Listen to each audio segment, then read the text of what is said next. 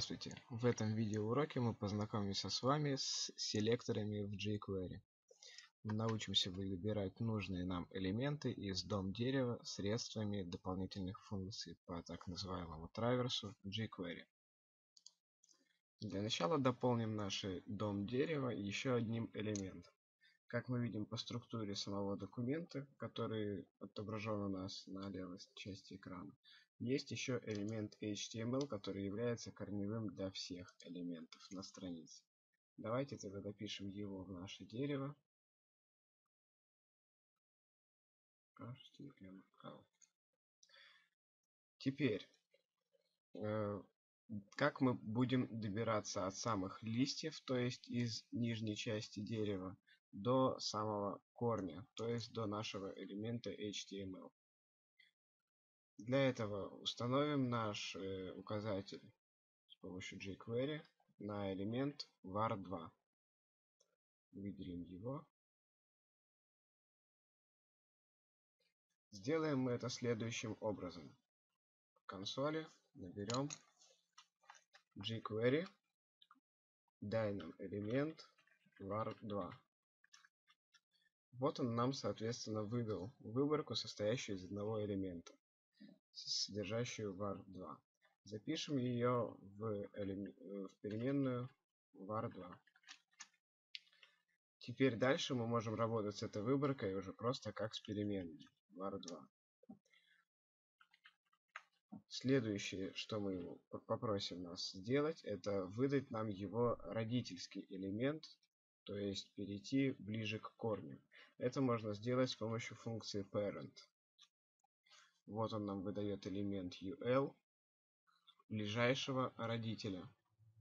Для данного элемента li это будет вот этот элемент UL по функции parent. Помимо функции parent есть функция parents, которая выдает нам всех родителей последовательно. То есть это первый UL, второй UL, потом div, body и HTML. То, что она делает, мы сейчас с вами отобразим на картинке. То есть мы получаем сначала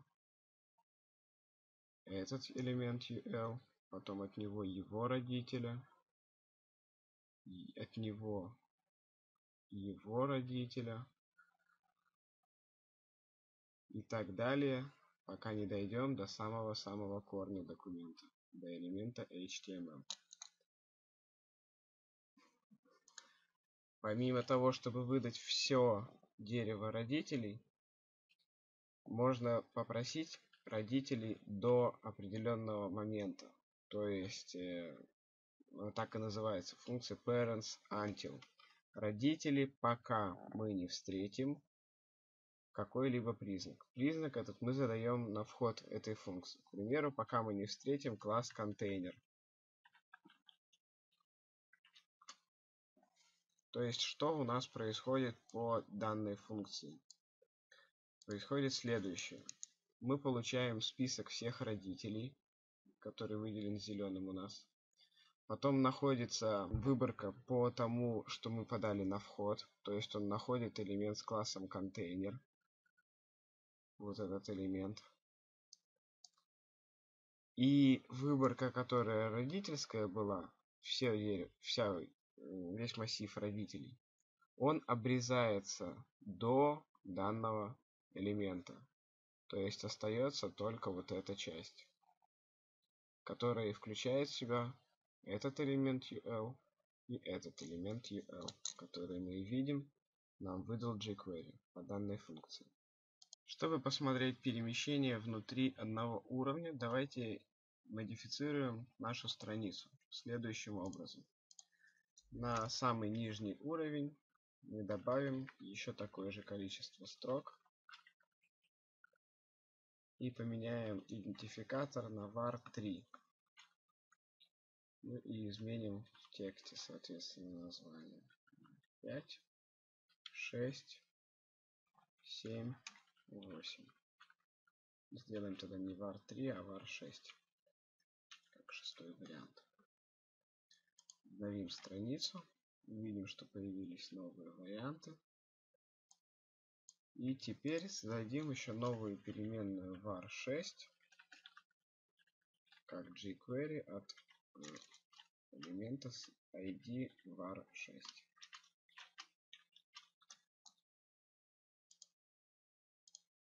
Теперь модифицируем картинку нашу. Давайте возьмем другую.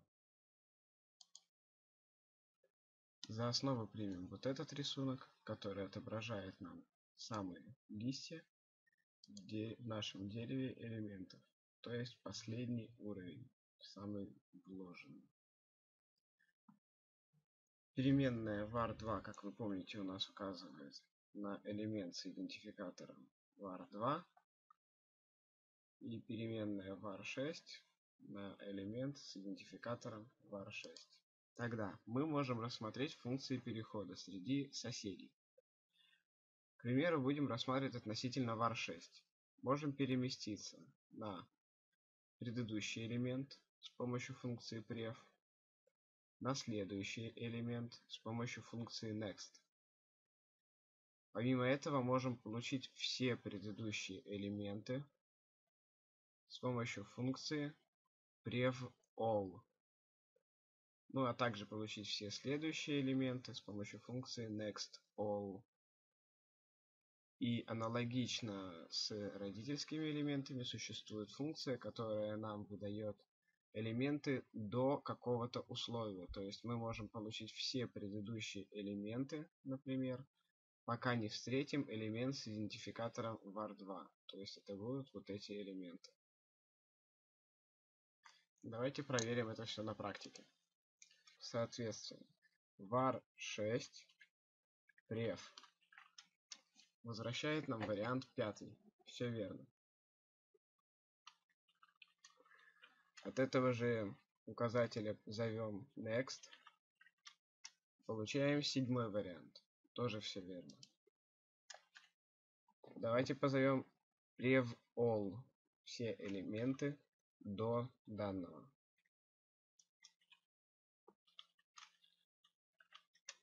Все предыдущие элементы подряд. И соответственно prev until на вход которого передадим идентификатор var2. И мы получили только пятый, четвертый и третий элементы. То есть все так как надо. Помимо того, что можно назвать элементы из какого-то конкретного направления, есть функция, позволяющая получить всех соседей в данном уровне. Называется функция siblings.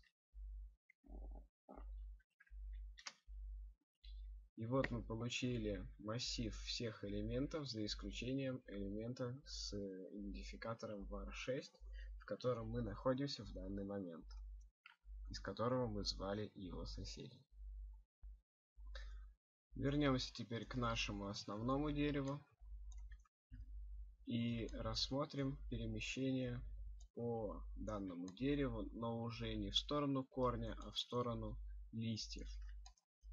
То есть как можно от самого коренного элемента, то есть от тега HTML или body, ну, в данном случае мы будем с вами перемещаться от элемента с тегом div и классом контейнер можно добраться до нужных нам элементов в детях. Давайте укажем, что здесь у нас есть еще элементы, поставив многоточие. Что дерево у нас сейчас здесь нарисовано не полное. Не такое, какое оно есть на самом деле. Так как мы с вами добавили элементы в самый вложенный уровень. Соответственно, ставим наш указатель на элемент div. Он у нас на странице 1, поэтому мы можем просто позвать его с помощью селектора div. И дальше, что нам, какие функции по углублению в дерево дом нам предоставляет jQuery. Ну, можем позвать его непосредственных потомков с помощью э, функции children. Она нам выдаст э, те узлы, которые лежат ближайшими детьми к данным. То есть это будет элемент h1 и ближайший элемент ul. Вот эти элементы, выделенные зеленым. В то же время можно позвать функцию contents. Она, в отличие от HTML элементов, выдаст еще и все текстовые элементы, будь то HTML комментарии или просто, как мы вот видим здесь, это перенос строки. Она выдает все полностью, то есть можно какие-то изменения и модификации делать, в том числе и над комментариями, получив их с помощью данной функции, к примеру. И помимо этого есть еще функция find, которая является по сути селектором jQuery на полученном уже множестве. То есть получив э, выборку с помощью элемента div, когда мы передали его на вход jQuery, мы ограничиваем уже функцию find только вот этим куском нашего дерева дом. Если бы были еще элементы, то в них бы уже поиск не производился. То есть вот этого всего для нас не существует, когда мы назовем функцию find от данного элемента div. Соответственно, мы можем позвать find ul, и он нам выдаст все элементы ul, которые есть в нем вложены. Ну, для примера давайте, чтобы было наглядно, создадим рядышком еще один UL, который уже будет вне контейнера лежать. Ну, чтобы его как-то отличить, дадим ему идентификатор um, not in div.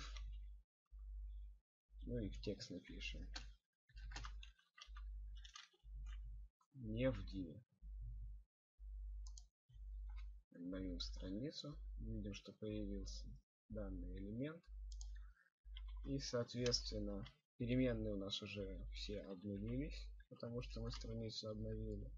Делаем div find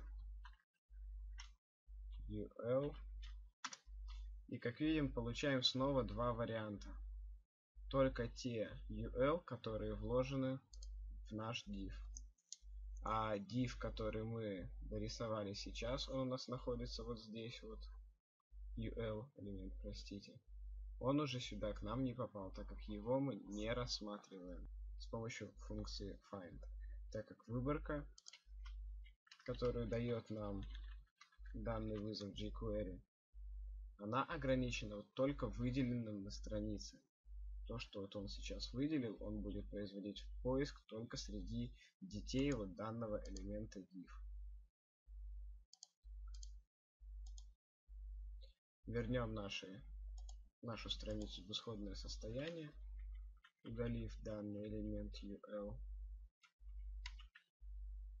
И, соответственно, обновим страницу здесь. Помимо перемещений внутри уровня и с уровня на уровень есть еще просто функции, позволяющие оперировать с полученной выборкой. То есть, к примеру, мы можем позвать jQuery, дай нам выборку элементов li. Он нам дал все элементы списков. И взять только первый элемент с помощью функции first. Аналогично можно взять только последний элемент с помощью функции last. Если мы от элемента first позовем функцию siblings, то мы увидим сейчас с вами, что получим только его соседей в его уровне. Не получим уже элементы, которые лежат на следующем уровне. Вот мы видим, это вариант 2, вариант 3 и UL а все вот эти элементы ли. То есть это сиблингс у нас действует именно внутри одного уровня дерева дом. А first и last действуют внутри выборки, которую мы получили. Помимо first и last есть еще функции э, EQ, сокращение от equal, который на вход принимает индекс элементов в выборке. То есть аналогично first будет equal 0. Дальше будет уже следующий элемент это equal от единицы, от двойки и так далее. С помощью нее можно позвать и последний элемент, но для этого тогда нужно узнать длину выборки нашей и вычесть единицу, так как индексация идет с нуля. Соответственно, вот мы видим, у нас здесь звался last, получился вложенный вариант 8. И здесь мы зовем уже с помощью функции equal. Также последний элемент и получаем вариант 8. Опять же что говорит о том, что все верно.